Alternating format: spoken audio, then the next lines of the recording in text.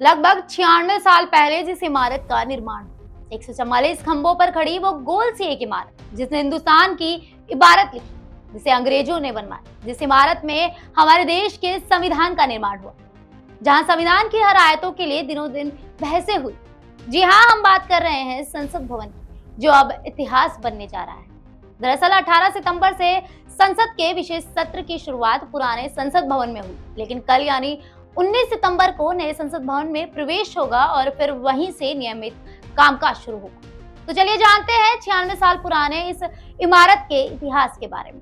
भारत के संविधान का निर्माण भी इसी संसद भवन में हुआ था। 26 जनवरी 1950 में जब देश का संविधान लागू हुआ और डॉक्टर राजेंद्र प्रसाद ने भारत के पहले राष्ट्रपति का पद संभाला।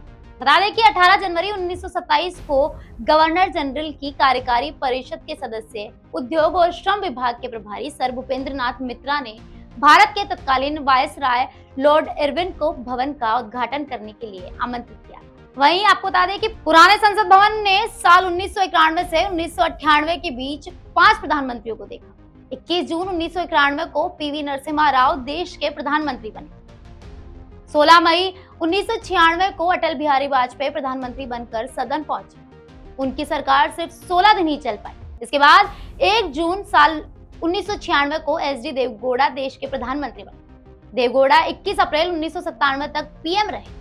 उसके बाद 21 अप्रैल उन्नीस सौ सत्तानवे को इंद्र कुमार गुजराल प्रधानमंत्री बनकर सदन पहुँचे।